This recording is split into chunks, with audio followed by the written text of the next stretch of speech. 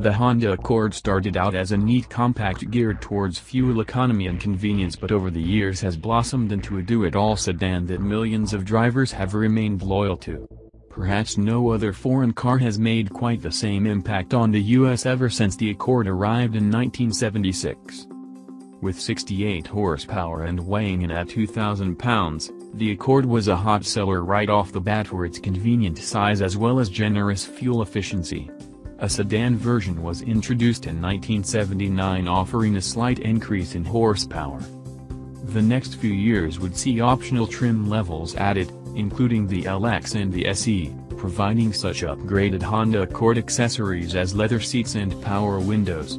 As the decade of the 1980s progressed, the Honda Accord would eventually grow into being one of the most influential and desired automobiles on the road.